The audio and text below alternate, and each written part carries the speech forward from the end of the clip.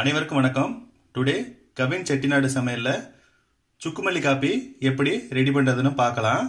கூடவே நம்ம இந்த சுக்குமல்லி காப்பியோடைய பயன்பாடு என்னன்னு நம்ம இப்போ பார்க்கலாம்.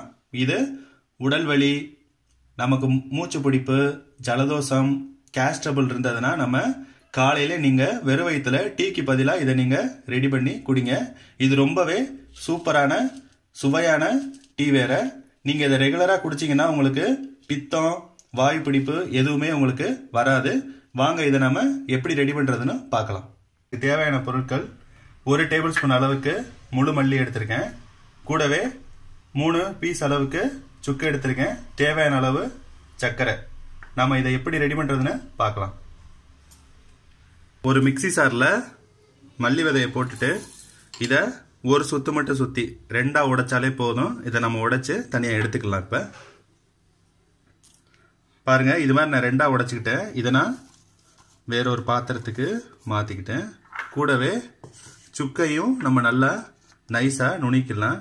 நீங்கள் ஏதாவது தட்டி போடுறதாலும் தட்டி போடலாம். இல்லைன்னா மிக்சியில் வச்சு இது மாதிரி அரைச்சி போட்டுக்கோங்க. பாருங்கள் இது மாதிரி நல்லா பொடி பண்ணிக்கோங்க. நான் இப்போ ரெண்டு டம்ளர் தண்ணி எடுத்திருக்கேன். அந்த ரெண்டு டம்ளர் தண்ணியில் ஃபஸ்ட்டு நீங்கள் ஒரு டேபிள் ஸ்பூன் அளவுக்கு உடச்சி வச்ச மல்லியை அதில் நல்லா போட்டு கொதிக்க விட்டுக்கோங்க.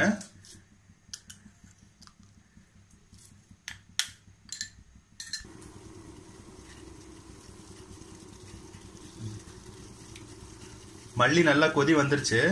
நான் இதில் மூணு டேபிள் ஸ்பூன் அளவுக்கு நாட்டு சக்கரை ஆட் பண்ணுறேன் நம்ம இனிப்புக்கு தகுந்த மாதிரி இதை நீங்கள் கூடவே வேணாலும் ஆட் பண்ணிக்கோங்க. இது கொஞ்சம் நல்லா கொதி வரட்டும். கொதி வந்ததுக்கப்புறம் நம்ம நுணுக்கி வச்சிருக்க சுக்கில் ஒரு டேபிள் ஸ்பூன் அளவுக்கு போட்டுட்டு நம்ம இறக்கலாம். இந்த சுக்குமல்லி காப்பி நமக்கு தலைவலி பித்தம் கை கால் பிடிக்கிறது இருந்ததுன்னா நமக்கு இந்த டீ குடிச்சதுன்னா ரொம்ப நல்லா இருக்கும் உடம்புக்கு ரொம்ப நல்லா இருக்கும். ஃப்ரீயாக இருக்கும் கேஸ்ட்ரபிள் இருந்தாலும் இந்த டீ குடித்தோன்னா நமக்கு ரொம்ப நல்லா இருக்கும் உடம்புக்கு. இது மாதிரி நீங்கள் ரெடி பண்ணி காலையில் வெறும் வயிற்றுல சாப்பிட்டீங்கன்னா ரொம்ப நல்லது இது. சர்க்கரை போட்டு நல்லா கொதி வந்துருச்சு. கூடவே நான் இப்போ சுக்கு பொடியை ஆட் பண்ணிக்கிறேன். பாருங்க எவ்வளோ நல்லா பொங்கி வந்துருச்சுன்னு பாருங்க.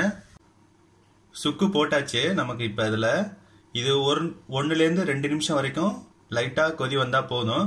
நாம் இப்போ இதை இறக்கிட்டு மாற்றிக்கலாம் பாருங்க இது மாதிரி ஒரு காப்பி வடிகட்டிலே நீங்கள் வடிகட்டிக்கலாம். சூப்பரான ஒரு டீ நமக்கு ரெடி ஆயிடுச்சு. இதை நீங்கள் காலையில் டீக்கு பதிலாக குடிச்சிங்கன்னா ரொம்ப நல்லாயிருக்கும். பாருங்கள் பாருங்க சூப்பரான சுவையான சுக்குமல்லி காப்பி ரெண்டே நிமிஷத்தில் நமக்கு ரெடி ஆயிடுச்சு. இந்த ரெசிபி உங்களுக்கு பிடிச்சிருந்ததுன்னா கவின் செட்டிநாடு சமையல் சேனலை லைக் பண்ணுங்கள் சப்ஸ்கிரைப் பண்ணுங்கள் ஷேர் பண்ணுங்கள் கூடவே இருக்க பெல் பட்டனை கிளிக் பண்ணிக்கோங்க. தேங்க்யூ